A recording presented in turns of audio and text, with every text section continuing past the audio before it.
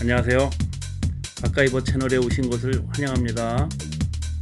아, 이동식 무시동 시터와 에어컨 기능, 선풍 기능까지 갖춘 어, 세 가지 기능을 모두 가진 아, 무시동 시터를 가지고 오늘은 성능을 보겠습니다. 이름은 대우 네오와 아미코입니다. 배기 주름간인데요. 아, 이렇게 그려서 보관합니다. 아, 잠시 후에 설치된 모습을 보시겠습니다. 아, 이런 모습으로 고정합니다. 저 생각보다 쉽지요.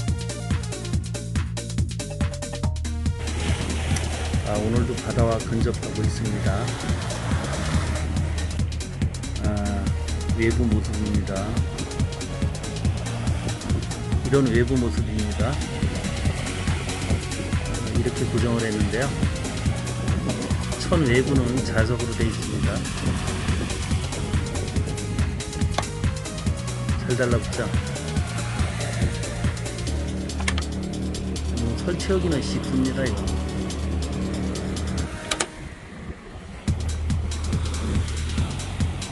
사방이 다 자석으로 되어 있습니다.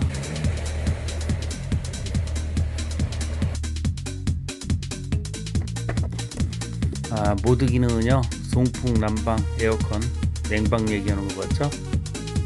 아, 램프 기능은 아, 점등 밝기 조절합니다. 파워, 운전, 정지, 통제를 말하는 겁니다.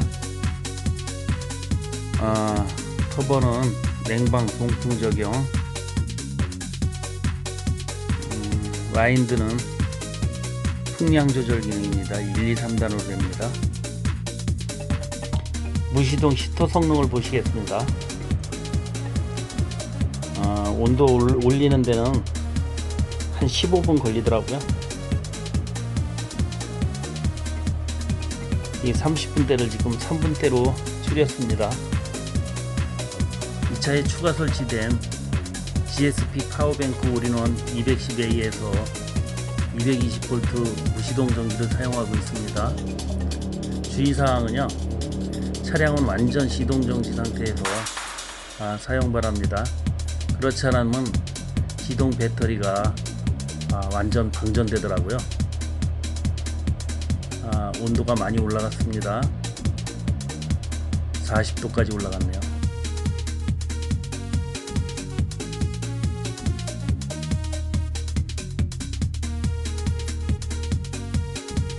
에어컨 작동은 잠시만 보시겠습니다. 배수 호수 설치 방법은요 위에서 아래로 내려가게 하면 됩니다. 이런 모습으로요. 아, 지금 에어컨 작동 중인데요. 온도가 빨리 내려가고 있습니다.